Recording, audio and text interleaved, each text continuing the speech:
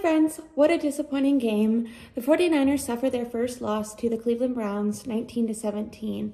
They walked into this game like they were the big dogs of the NFL and they wanted a fight, but unfortunately, once they were punched in the face, they could not respond. Pre-game, Trent Williams, Deebo Samuel, and Aiyuk actually got in a physical altercation with some of the Browns players, which for me as a fan made me think, okay, like they're not taking this game lightly. They're getting up for this. There won't be an emotional letdown. And to be fair, to start the game, the 49ers got a stop on defense and immediately scored a touchdown. His 15th straight touch game with a touchdown, Christian McCaffrey scored. Um, unfortunately, that's where the momentum stopped. They couldn't get anything together offensively. Deebo Samuel went out early with a shoulder injury, and the Purdy Aiyuk connection was just off. The 49ers were getting dominated in the trenches, which was really rattling Purdy, and the O line was really struggling. Trent Williams suffering an ankle injury mid game also didn't help with that. Brock Purdy had the worst game of his career. He was 12 of 27 with one touchdown and one inter interception, but overall he just like looked extremely inaccurate, very rattled, not poised like we are normally uh, accustomed to seeing seeing him. Brock Purdy had the worst game of his career. He was 12 of 27 for one interception and one touchdown, but he could have thrown multiple interceptions. Actually, if you look at the drive where he threw his interception, it's a great example of how terrible the offense looked throughout the entire game. So the drive started with Purdy throwing an almost interception to a linebacker that wasn't caught. Then Kyle called a run to Christian McCaffrey, which was stopped in the backfield for a loss of negative yards. And then there was another pass called, and that was one that Purdy did throw the interception on.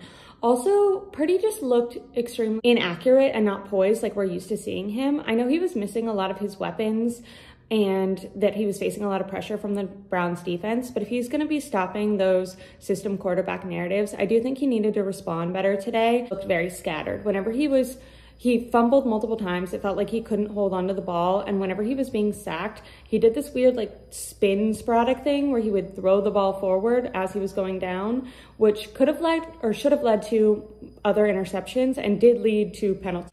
Penalties were another huge issue for this game for the 49ers. They had false starts on offense, game extending drives on defense when they were getting penalties there. The refs were really terrible for both teams, but two calls in particularly screwed over the 49ers. One was a missed call on a fumble from PJ Walker, and the other one was in the last few minutes of the game, the refs called an unnecessary roughness penalty on Tashaun Gipson for a hit to the head. But when they replayed the call, it was very clearly a clean hit to the shoulder, not only to fans, but to the broadcasting crew when they were replaying it. The 49ers can't blame the refs though, because they played terrible all game.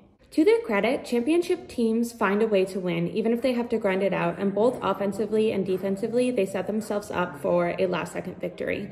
On defense, Deommodore Lenoir made up for a mistake earlier in the game by getting a interception in the last quarter of the game.